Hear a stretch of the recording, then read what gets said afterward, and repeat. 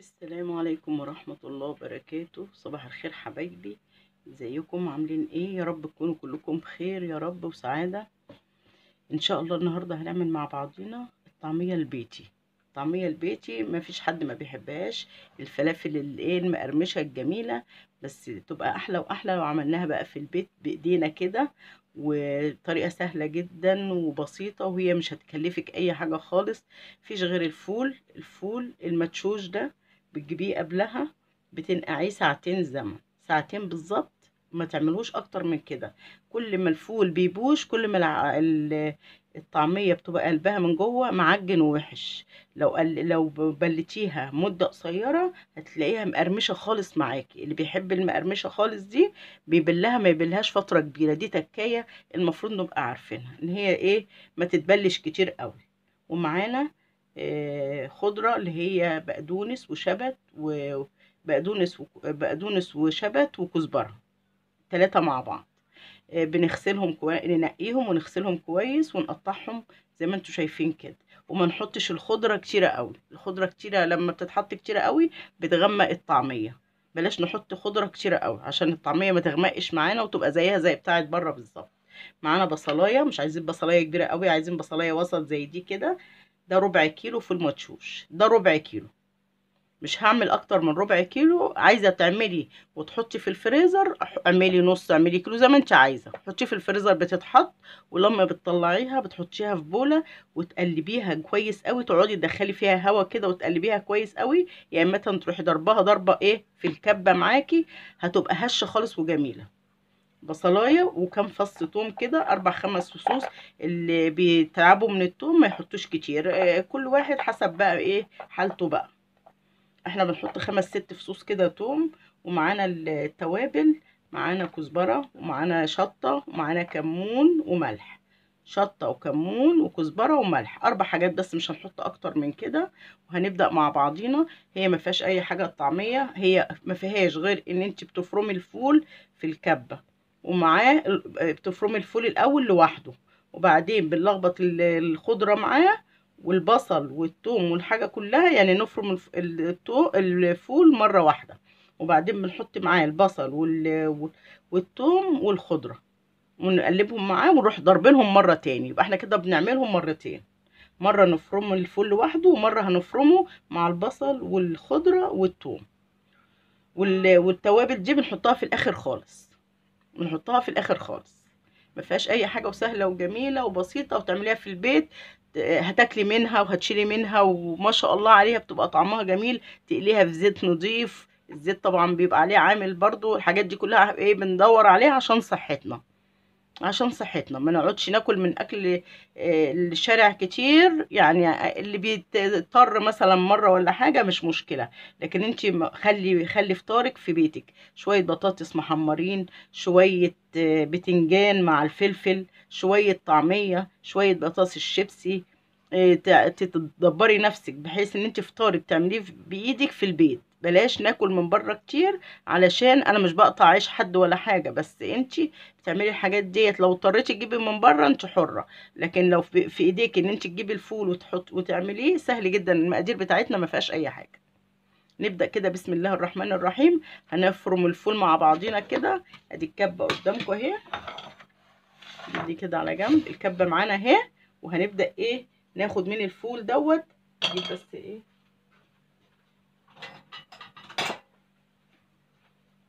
هبدأ آخد من الفول ده كده. أنا إيدي طبعا قبل ما بنبدأ أي حاجة نغسل إيدينا كويس نغسل الرخام اللي هنعمل عليه عشان لو حاجة وقعت تبقى الحاجة إيه ما تجيش يعني ما, تقعش على حاجة مش نظيفة. لازم يبقى إيه منضفة حواليكي قبل ما تعملي أي حاجة وغسلة إيدك كويس. أهم حاجة غسيل الإيد ده كويس قوي ونمسك الفول هنطحنه مع بعضينا. هوريكم هنطحنه إزاي.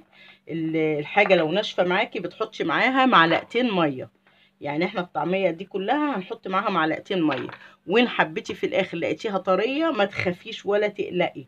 عن عندك مصفى وتحتها طبق تحطي عليها عجينة الطعمية لو في أي مية زيادة بتنزل.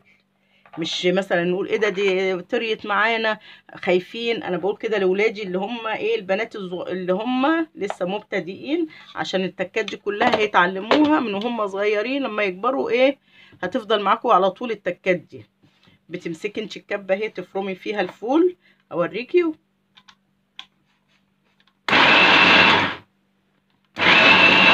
ما بياخدش وقت ولا حاجة. أهو الفول اتفرم معانا. اتفرم معانا الفول اهوت. ناعم. هنعمله إحنا كده دي أول مرة. المرة التانية اللي بنحط معاه الخضرة والبصل وال وال والثوم. فرمنا مع بعضنا اهو. الفول تعمليه على مرتين ربع كيلو على مرتين بيتعمل في الكبة. ما عندكيش كبة اعملي في المفرمة بتاعه الخلاط.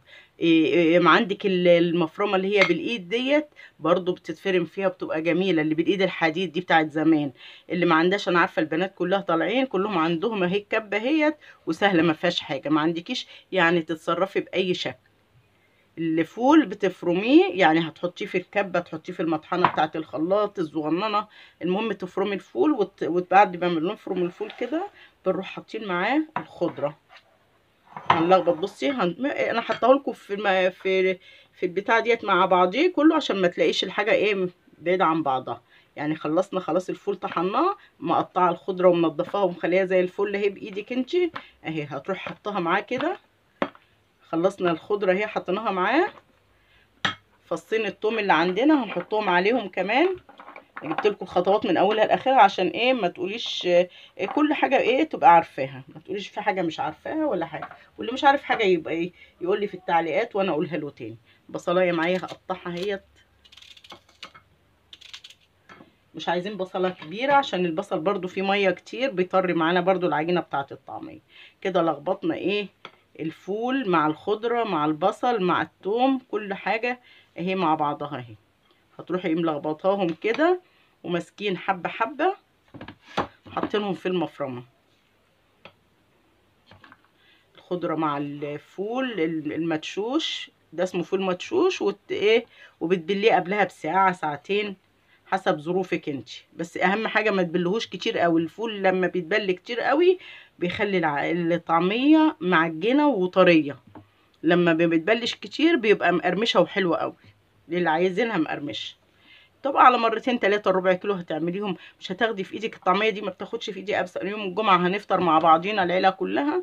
تروح قايمة عاملاها البصلايه على فصين الثوم وتروح حطاهم في الكبة زي ما انت شايفة كده وإيه وضربهم في الكبة.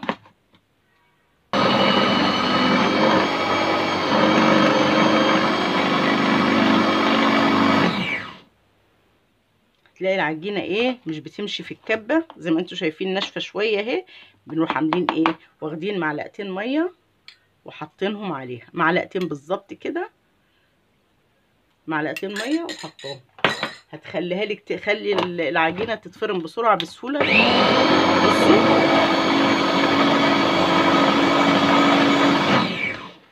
كل فترة كده تروحي منزلة إيه؟ اللي على الحروف ده منزلة جوه كده.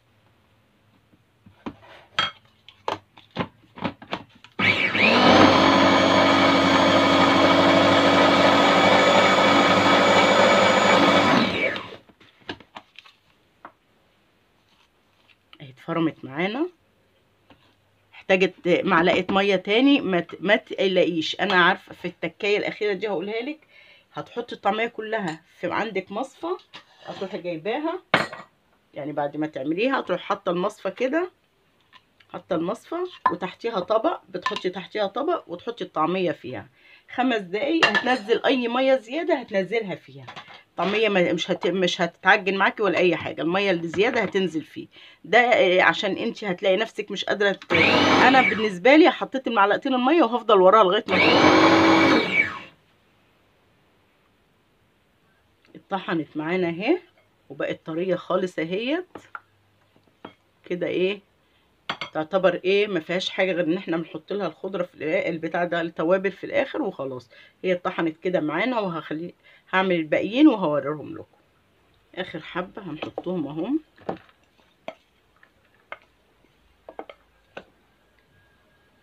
ادي الطعمية اهي. شايفينها؟ خلاص بقت ناعمة خالص اهي. بقت ناعمة وجميلة زي اللي بنشتريها من بره بالظبط اهي. هنبدأ بقى إيه نقليها مع بعض. حطينا آه نسيت أقول لكم. التوابل بقى هنبدأ إيه؟ نحطها كده كلها. نحط شوية ال الكزبرة وشوية الشطة شوية شطة صغيرين مش كتير. وكمون وكمون والملح. دي آخر إيه؟ آخر مرحلة بتحطي فيها المرحلة الأخيرة دي اللي بتحطي فيها التوابل. وتضربيها ضربة إيه مع بعضيها كده في الكبة. ضربنا التوابل معاها اهي كده خلصناها. كده حبايبي خلصنا الطعمية. هنرش لها رشة كزبرة كده على الوش كده. ونحط لها شوية خضرة على الوش كده. أدي الطعمية البيتي اتفرجي على جمالها. شوية كزبرة على الوش وشوية خضرة من اللي إحنا حطيناهم في الأول تروحي رشاهم على الوش كده معاها وتبدأي تقلي بقى الطعمية وكده. خلاص الطعمية خلصت معاكي. حبيتي تحطي عليها حمص شام في عارفين حمص الشام الكبير؟ تبليه برضو وتحطيه معاها. تفرمي شوية معاها. ممكن تعمليها بالحمص وممكن تعمليها بالفول. دي بالفول بس. مش مكلفة خالص وما فيهاش أي حاجة. وهتلاقي بصي البوله معاكي قد إيه هتعملي منها وتروح حاطه اكياس في الفريزر وقت ما تحبي تاكلي طعميه تسحبيه قبلها بساعه ولا ساعتين وتفكيه وتعملي الطعميه بتاعتك سهله وجميله وهتلاقي طعمها جميل وهوريها لكم بعد ما تتقلي وهتشوفوها وأنا بقليها.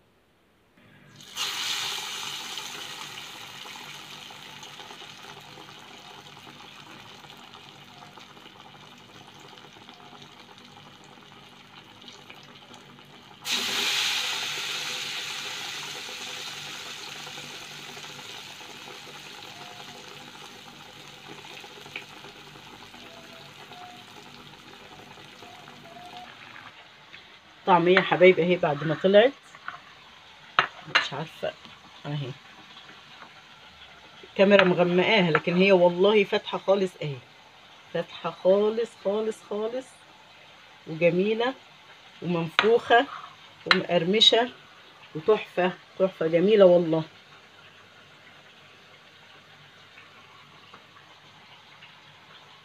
الطعمية اهي. بألف هنا والشفا حبايبي وإن شاء الله تعجبكم بإذن الله وما تنسونيش في اللايكات وال subscribe والاشتراك في القناة وإن شاء الله بإذن الله إن شاء الله نعمل معاكم كل جديد وكل حاجة مش عارفينها نعملها مع بعضينا واكتبوا لي في الكومنتات واللي عايز أي حاجة نعملها مع بعضينا. طعمية ما شاء الله عليها. بصوا هشة ومنفوخة وجميلة. بصوا بصوا منفوخة من جوه إزاي؟ منفوخة من جوه وخالص أهي. ومقرمشة خالص ومنفوخة والله اللي يشوفها يقول فيها كربونات وأنا مش حاطة لها لا كربونات ولا baking powder زي الفل أهي.